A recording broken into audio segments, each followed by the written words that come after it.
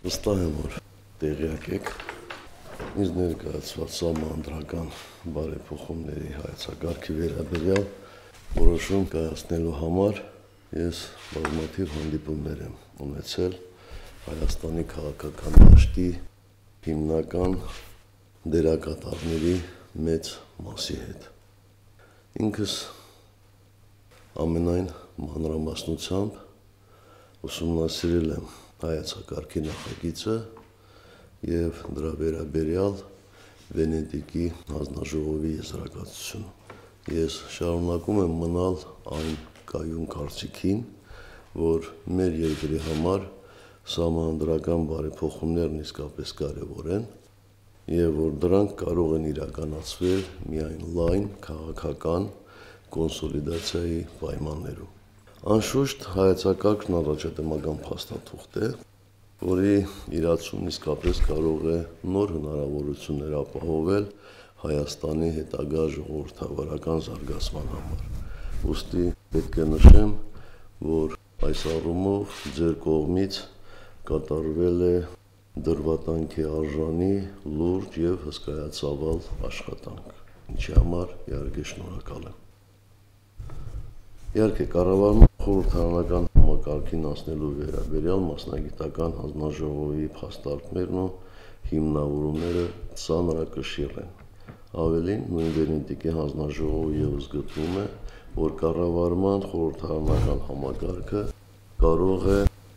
ամրապնդել ժողովրդավարությունը Հայաստանում։ Միևնույն ժամանակ քաղաքական ուժերի հետ անցկացված կոնսուլտացիաները ցույց են տալիս, որ այս հարցում չկան եւ օբյեկտիվորեն չեն էլ կարող լինել միանշանակ համընկնող մոտեցումներ կան կառավարման խորհրդարանական համակարգին թե կողմ, թե դեմ արտահայտվողներ, կան նաև ուժեր, որոնք վերջնական կողմնորոշում ունենալու համար կարևորում են իրենց մասնակցությունը այս գործընթացին եւ այսպիսի ուժերը շատ ավելի մեծաթիվ են Այդուհանդերձ պետք է անկեղծ լինեմ եւ ասեմ, որ կառավարման գործող համակարգի օգտին նախկինում իմ արտահայտած դիրքորոշման հիմքում ընկած օբյեկտիվ նախադրյալները էապես չեն փոխվել։ Ես դեռ ունեմ մտահոգություններ, որոնք կապված են կառավարման համակարգի փոփոխության վերաբերյալ ձեր մասնագիտական մոտեցման հետ։ Եթե ավելի կոնկրետ լինեմ, ես դեռևս լավ չեմ պատկերացնում, թե առաջարկվող մոդելն ինչպես է անվերապահորեն երաշխավորելու երկու կարևորագույն բաղադրիչ երկրի արտաքին եւ ներքին անվտանգությունը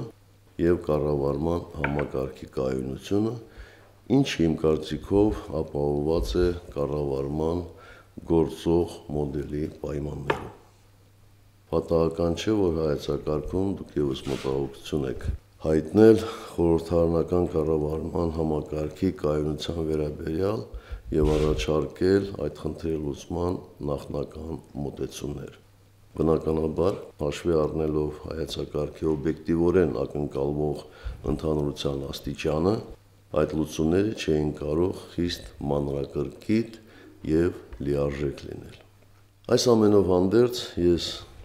քաղաքական հավանություն գտամ հայեցակարգին, որովհետեւ համոզված եմ, որ պարտավոր ենք օգտագործել մեր պետության համար դրական զարգացում ապահովող ցանկացած հնարավորություն,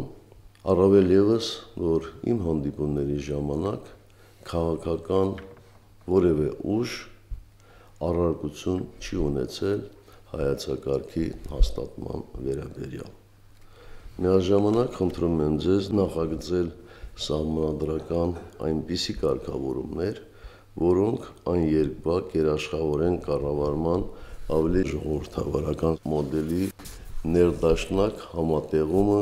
պետության անվտանգության եւ կայունության հետ։ Սահմանադրական փոփոխությունների տեքստը պատրաստելիս անհրաժեշտ եմ համարում նաև մշակել քաղաքական ուժերի ներկայացուցիչների հետ մասնագիտական քննարկումներն ապահովող արդյունավետ ցև։ Երեք բոլորը դրա մասին շատ հանգամանալից եւ հիմնավորված խոսում էին։ Ինձ համար կարևոր է, որպեսզի նախագծի մշակման բոլոր փուլերում բաժին առ բաժին, գլուխ առ գլուխ հետադարձ կապի սկզբունքով քննարկումներ լինեն քաղաքական ուժերից յուրաքանչյուրի հետ։ Այստեղ ես կարևորում եմ նաև, որպեսզի այն քաղաքական ուժերի հետ քննարկումների ժամանակ, որոնք կողմ են ներկա գործող կառավարման համակարգը կատարելագործել, քննարկումներ անցկացնել նաև այս ուղղությամբ։ Արդյունքում հնարավոր է ունենալ թե կառավարման խորհրդարանական համակարգին անցնելու թե գործող կառավարման համակարգի կատարելագործված ձև շատ հնարավոր է որ դրանով բոլորը համոզվեն նոր ձևի արդյունավետության եւ ճիշտ լինելու մեջ